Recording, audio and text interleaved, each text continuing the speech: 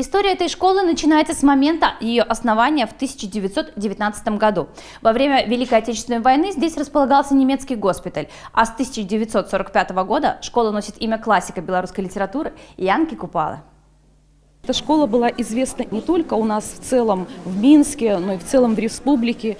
И поэтому было важно не только сохранить те традиции, которые были в школе, но, безусловно, их приумножить, чтобы и результативность у нас была действительно на высоком уровне. И хочу, наверное, похвастаться, что за последних шесть лет а, наше учреждение образования входит в тройку лучших учреждений образования города Минска.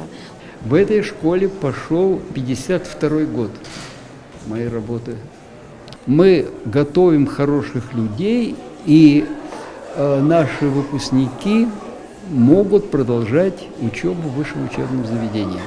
Могут, потому что мы им даем достаточно хорошую подготовку.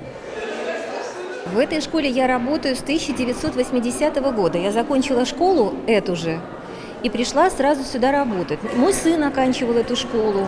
Ну, мой отец работал в этой школе.